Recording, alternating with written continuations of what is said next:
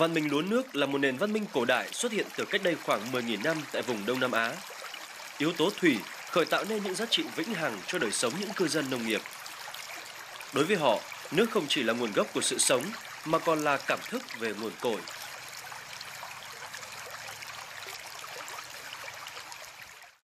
Một trong những dân tộc vùng núi cao Tây Bắc Việt Nam đã đạt đến trình độ canh tác lúa nước đỉnh cao chính là người Hà Nhì. Chúng tôi muốn nói tới đồng bào Hà Nhì đang sinh sống tại khu vực Y Tý, Bát Sát, Lào Cai, nơi dòng sông Hồng huyền thoại nối những dòng chảy đầu tiên vào đất Việt.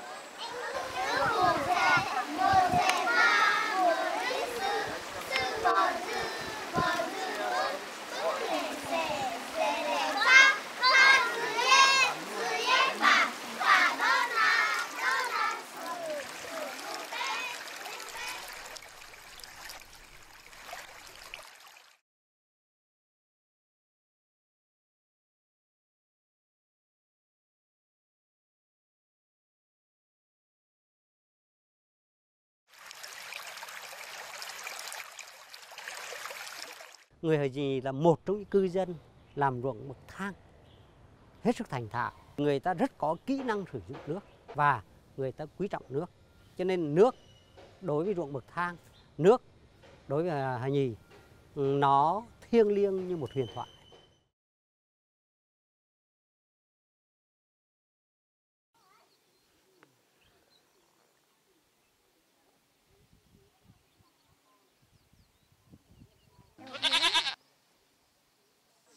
Đồng bào Hà Nhì có tổ tiên là tộc người Khương, đã di cư từ vùng cao nguyên Thanh Tạng xuống phía Nam từ trước thế kỷ thứ ba.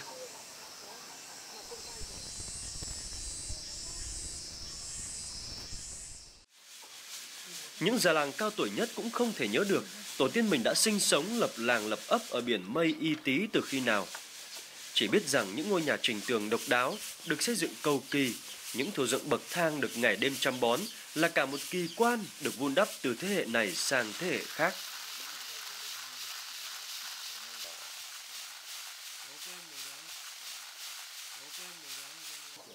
Người Hà Nhi là dân tộc có ý thức lớn về việc gìn giữ rừng và nguồn nước. Đối với họ, quan niệm rừng là nhà, nước là sự sống, được thiêng liêng hóa một cách tối cao. 要得么的，要得的我这的，呃，牛肝面骨得么，要我老去吃鱼得么，吃鱼老去嘛家牛肝面骨嘛家怎么了我得嘛我怎么过得去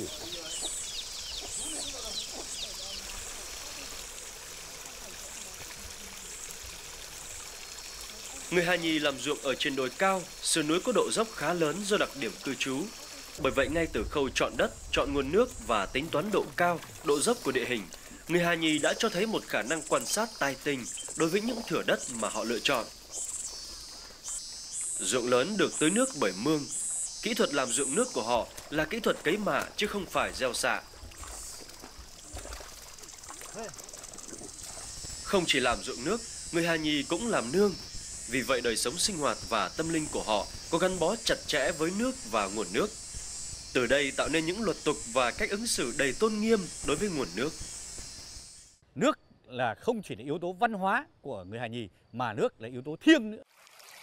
Người Hà Nhì chủ yếu sử dụng nước ở các mạch nguồn đổ xuống từ các khe núi. Đối với họ, nguồn nước đó là vô cùng đáng quý và linh thiêng.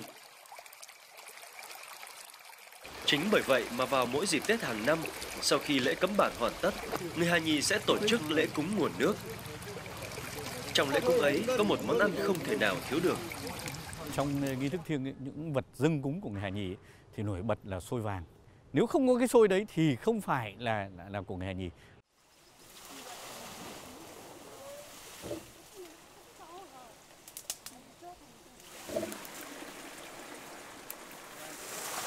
Loại lá đặc biệt để làm nên màu vàng truyền thống của món xôi vàng là ư gù sư bà. Cây mọc ngoài tự nhiên, có nhiều trong các vườn nhà. Cứ mỗi dịp lễ, Tết dù lớn hay nhỏ, đồng bào lại hái lá cây để đổ sôi vàng. Những công việc này thường của những người phụ nữ đảm đang trong gia đình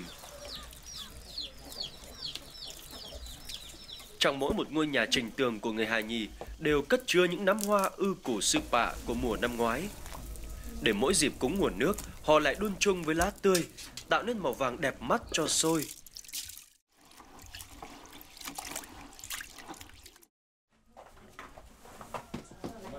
Một mùa vàng bội thu sẽ đến qua ước mong từ những nắm xôi tròn đầy. Ờ, những mùa gặt ấy cái lúa thóc nó vàng rồi giống như là cái uh, gạo nếp xôi này này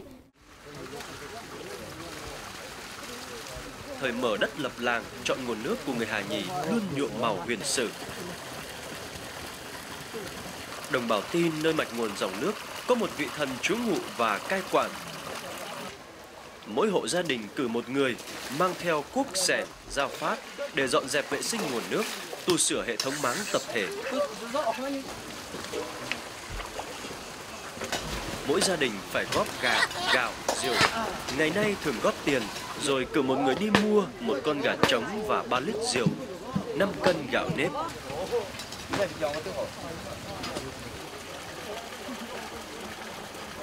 Cả bản họp bàn cử hai người đàn ông đã có gia đình đứng ra thực hiện các nghi lễ cúng nguồn nước.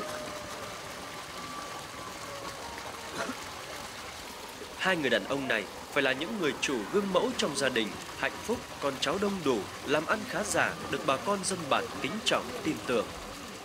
Người ta coi là cộng đồng chọn nó quan trọng, nhưng đây thần chọn lại càng quan trọng hơn. Vì thế người ta đấy là tiếng nói của thần linh, cho nên thiêng hóa. Vì thế mà vai trò của ông ông ông thầy cúng đấy càng được linh thiêng hơn. Trong lễ cúng thường chỉ thấy những người đàn ông và thanh niên.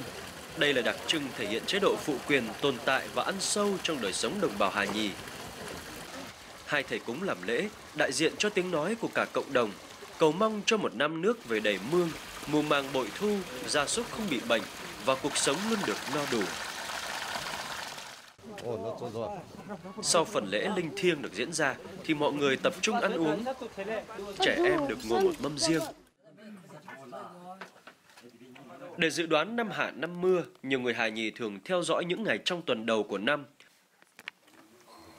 từ ngày mùng 1 tháng 1 đến ngày thứ 12 tháng 1. Nếu ngày rồng rơi vào những ngày đầu của tuần thì năm đó mưa nhiều. Nếu ngày rồng rơi vào những ngày cuối của tuần thì năm đó ít mưa.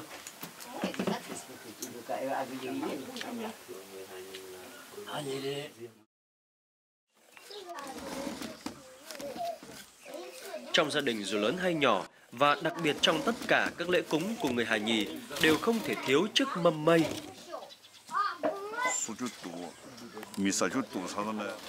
Người Hà Nhì coi chiếc mâm mây là biểu tượng cho sự tròn đầy, sung túc và đoàn tụ.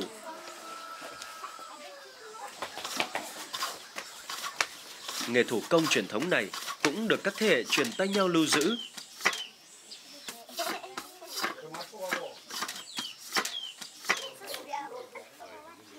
Đến với những bản làng của đồng bào Hà Nhì, chúng ta thấy được sự gắn kết và nối truyền giữa các thế hệ. Đây mình cũng phải dạy cho các cháu sau này phải cũng đan theo giữ lại cái bản sắc dân tộc của mình truyền lại cho các cháu.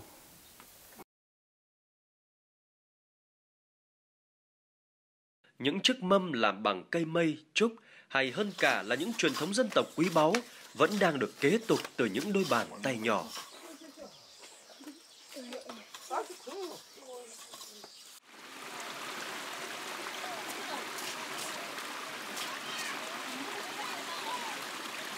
Khi chọn đất để lập bản, người Hà Nhì rất chú ý đến yếu tố nước. Mỗi bản người Hà Nhì phải có ít nhất một nguồn nước mạch, có những bản có tới vài nguồn nước. Các nguồn nước trong bản phải đủ để phục vụ cho các sinh hoạt của bà con trong bản Nơi thế đất đẹp nhất để dựng bản phải là nơi đất cao giáo, thoáng mát, tiện nguồn nước. Có nguồn nước dồi dào để phát triển trồng trọt, đặc biệt là trong việc khai khẩn ruộng bậc thang để gieo trồng lúa nước. Đời sống sinh hoạt và văn hóa tinh thần cũng từ đây mà phong phú, đa dạng. Sức nước giúp bà con giã gạo. Và cũng từ nguồn nước thiêng, những điệu hát dân ca, điệu múa truyền thống như múa giã gạo, múa trông trăng, múa gọi mưa ra đời.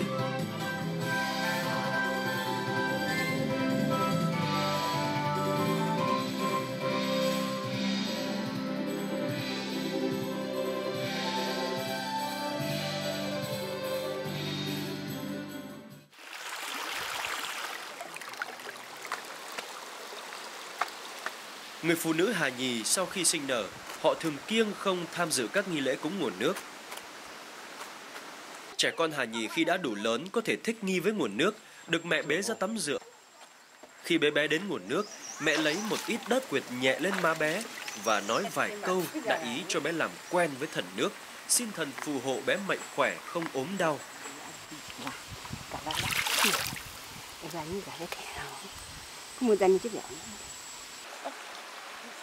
Trong các nghi lễ tang ma của người Hà Nhì cũng có phong tục tắm rửa thi hài cho người đã khuất để họ được sạch sẽ khi về với ông bà tổ tiên.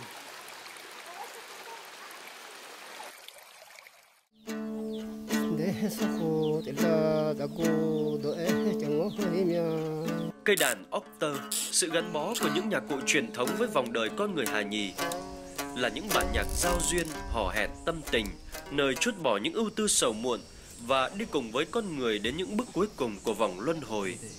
Đến khi sang thế giới bên kia, tiếng đàn cùng nguồn nước mẹ vẫn đồng hành cùng mỗi người.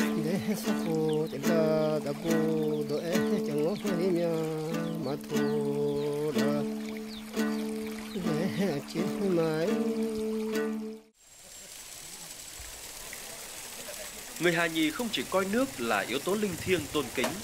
Với họ, rừng và những nghi thức cúng rừng cũng được tạo dựng chu đáo không kém. Sau khi cúng nguồn nước, những người đàn ông trong lễ cúng sẽ lấy ở mạch nước nguồn trong bản những ống bươm chứa đầy nước và mang lên rừng để chuẩn bị cho nghi thức cúng rừng. Câu chuyện về nước cùng những ứng xử với nước của cư dân đạt đến trình độ điêu luyện trong nền văn minh lúa nước có lẽ khép lại ở đây. Nhưng những bài học gìn giữ mạch nước nguồn, tôn trọng môi trường sống, những luật tục nghiêm khắc để gìn giữ thiên nhiên nơi địa đầu tổ quốc của đồng bào Hà Nhì sẽ còn được lưu truyền mãi mãi.